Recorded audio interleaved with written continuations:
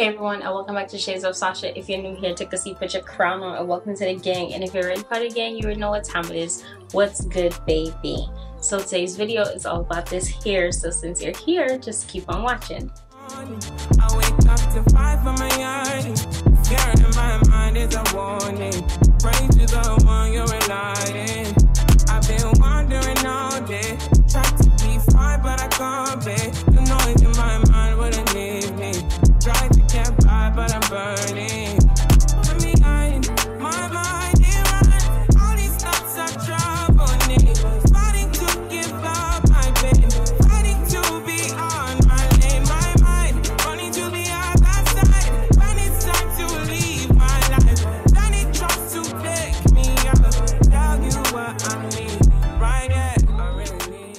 So let's jump into my rating system and my overall thoughts on this unit. If you're new here, hello, my name is Sasha and welcome to Shades of Sasha.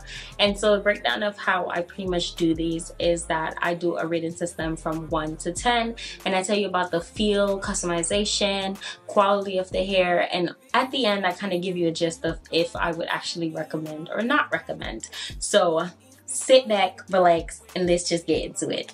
So this is the Outre Perfect Hairline 13 by 6 lace front wig in the style Laurel and I have mine in the DRFF um, or DFFR Cajun Spice. That's pretty much what this color is.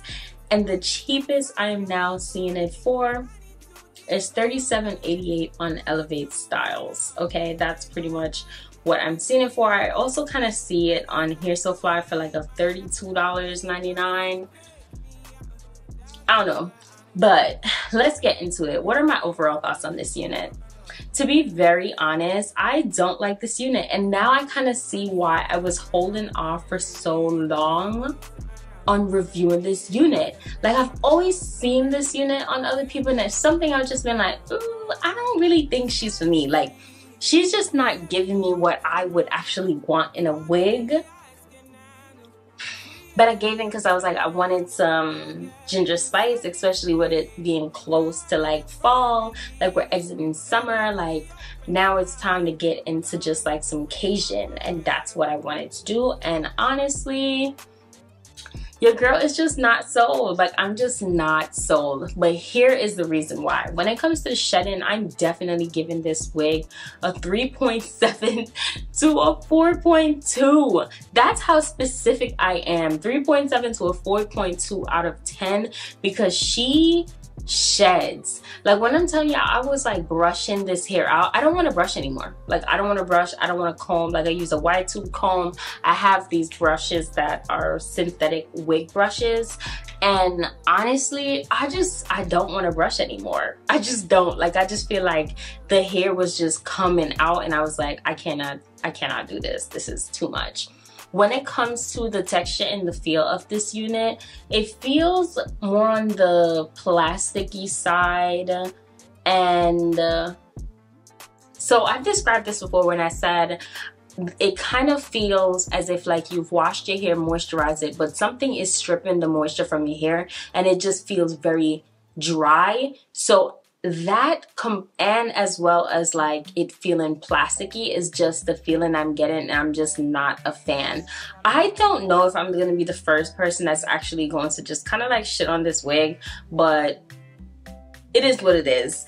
I'm just gonna let y'all know, even like right now, like when I'm saying with the shut in, what is all of this? Like, as my hands are kind of like just running not even running through it. This is my hands touching the bottom of the unit and it's just kind of like falling apart, okay? The customization of the inside of the wig, I actually did like it. I did love the way how when I put the wig on, it just fit fit snug i would say it's kind of big head friendly but that's only because the actual perimeter of the unit it was just a little bit too much so i think that's the only reason why like it would be considered big head friendly but it's not because inside or anything like this is just really long. Like this is exactly where it stops and I feel like I could have cut more if I wanted to. But given the fact of how much shedding I'm receiving, I actually do not want to cut this wig more than I have to. The fact that I even put the wig in like a side part, I was trying the middle part, it wasn't hitting. I tried the other side. I was like, I don't like this wig. Like that's just what it is. I'm not a fan of this wig and I'm just, I'm just gonna be honest about it. I just don't like the wig at all. I think the shedding is just too much. It doesn't really tangle that much, but at the same time, like I said, I'm not really putting my hands through it because I, I fear okay? Like my like one of the fears i have is to go outside and my wig falling off. But another fear is like you ever go outside and like say you're doing something like this? Oh here we go. I guess this gives y'all the answer on the on the tangling. And like all of this is happening it, i just feel like it just be embarrassing. It's embarrassing.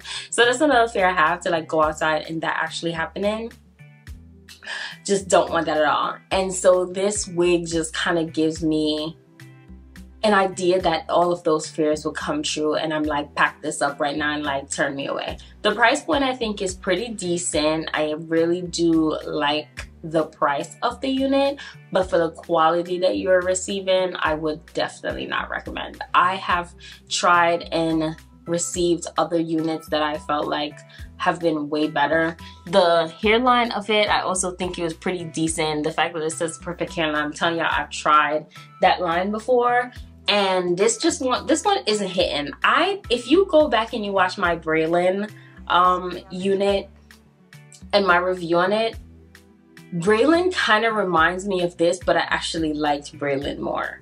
So if I had to choose between this, the Laurel, and the Braylon unit, I'm actually going to just go the out the opposite way because this is just not it.